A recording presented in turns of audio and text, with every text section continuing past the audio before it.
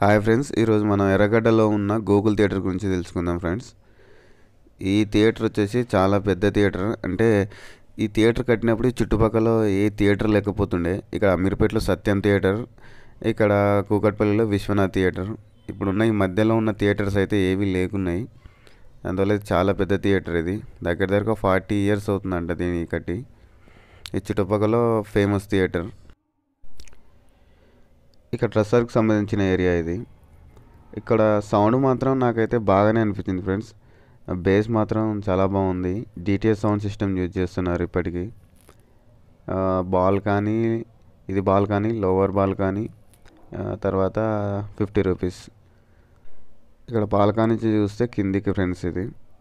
ఒక lower balcony అక్కడ ముందలేమో fifty. Sound అయితే బాగుంది. తర్వాత అది స్క్రీన్ క్వాలిటీ కూడా చాలా బాగుంది. పర్లేదు. ఫ్యామిలీతోనైతే రావచ్చు.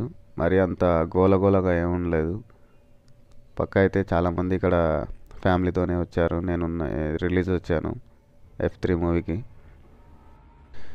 క్యాంటీన్కి అయితే ఏ ఇబ్బంది లేకుండా ఉంది ఫ్రెండ్స్. ఎందుకంటే అప్పర్ బాల్కనీ అనే వాళ్ళకు సపరేట్గా పైన ఉంటుంది. తర్వాత లోవర్ బాల్కనీ వాళ్ళకి డ్రెస్ సర్కిల్ వాళ్ళకి ఇక్కడ థియేటర్ మెయిన్ ఎంట్రన్స్లో ఉండే మెయిన్ క్యాంటీన్ ఉంటుంది పెద్ద క్యాంటీన్ తర్వాత ఫిఫ్టీ వాళ్ళకి సంబంధించిన కూడా అక్కడ స్మోక్ ఏరియా తర్వాత క్యాంటీన్ వాళ్ళకి సపరేట్గానే ఉంది ఫ్రెండ్స్ నీట్నెస్ అయితే బాగానే ఉంది.